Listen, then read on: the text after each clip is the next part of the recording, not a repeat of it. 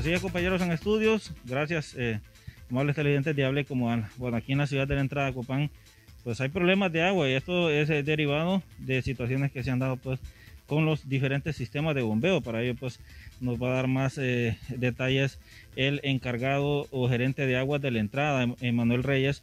Eh, Emanuel, sin duda alguna se está trabajando para solucionar estos problemas, aunque sabemos que no es nada fácil debido a la situación que se ha presentado.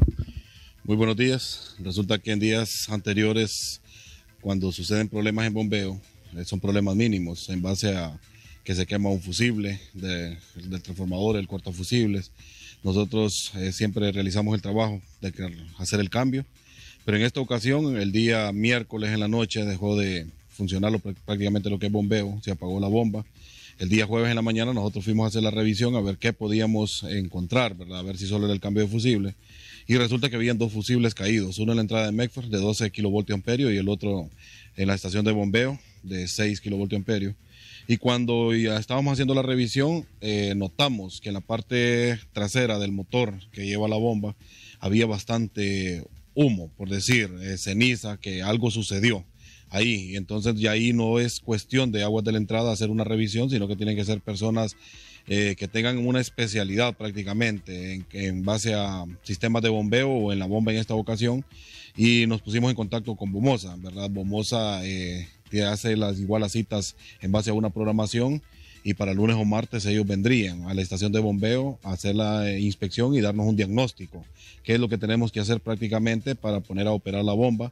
Lo más preocupante es la cantidad de días que vamos a llegar, ¿verdad? Porque sabemos que después de los huracanes Ota, Iota, Iota y Ieta, quedó mm, inactiva la línea de Río Chiquito y nosotros solo hemos estado operando con bombeo y con la línea de Hualchoca. En esta ocasión bombeo no está, prácticamente solo quedamos con Hualchoca, que solo está dándonos 250 galones de una aproximación de 1.350, 1.400 que necesitamos para operar normalmente cada cuatro días.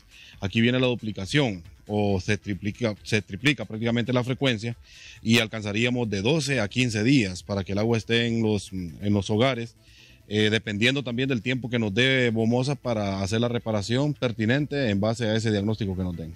Gracias a Emanuel Reyes, gerente de aguas de la entrada en la ciudad eh, de la entrada a Copán, municipio de Nueva Arcadia. Así es como está la agitación con el agua acá. Pues se han presentado dificultades en eh, el principal sistema de bombeo que se encuentra en el río Chamelecón.